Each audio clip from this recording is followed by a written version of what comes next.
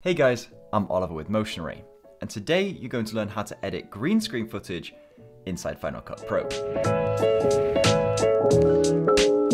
If you want to follow along, we're using this green screen clip from Motion Array, and we'll leave a link in the description for you. So the first thing we're going to do is go over to our effects browser on the right hand side, or by pressing Command 5. Then we're going to scroll down to the keying folder, select the keyer, and pull that onto your clip and bam, you'll immediately notice the background has been keyed out. The keyer effect has picked up the green colour and emitted it from the clip. In doing so, the keyer has now exposed the transparent area, which means whatever is underneath this clip on your timeline will show through. In some cases, you'll find the keyer effect doesn't perfectly remove all green elements. That's because the effect works on a selected colour range, so if a green colour is darker in some places, but lighter in others, it's possible not all green will be emitted. To increase the range of a single colour we want the keyer to remove, we can select a portion of our clip. To increase the range of a single colour we want the keyer to remove, we can also select multiple portions by holding down the Shift key and selecting another area. Bright green is typically used because it's not a common colour found on set or on a subject. However, if you find a bright green colour is used on your set, try switching to a bright blue.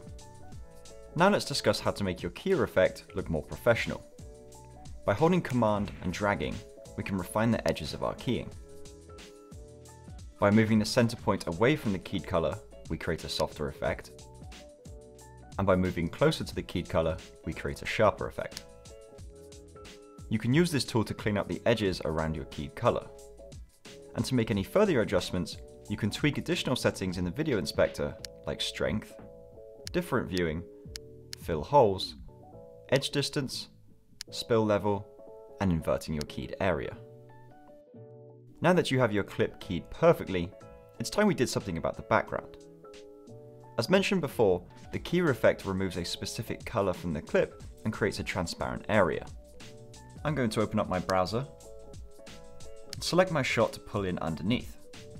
By layering these clips, we've created a new background for the transparent area in our top clip. You can adjust this clip to make it match your keyed out area.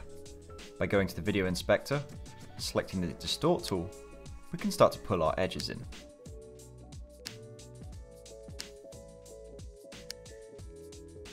Now our clip fits within the keyed area. By layering these clips, we've created a new background for the transparent area in our top clip. So now that you've learned how to add a keyer and adjust it accordingly, how about a few other issues you may run into and how to troubleshoot them? When shooting with the green screen, You'll want to make sure the screen is evenly lit to avoid lighter and darker areas, which may prevent a clean keying when you add the keyer effect onto your clip in Final Cut Pro. And when you come to editing your green screen footage, the viewer can sometimes play tricks on you. So to be sure you've properly keyed out your background, use the view options in the video inspector panel to see what is and isn't in the color range for being keyed.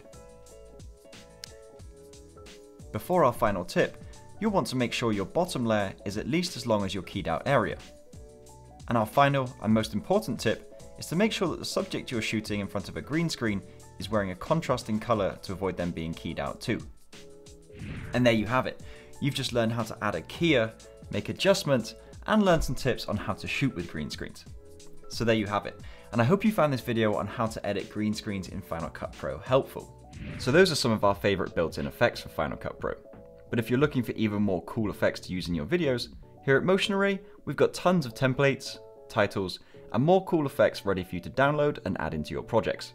Thank you so much for stopping by, and I'm looking forward to seeing you in the next video.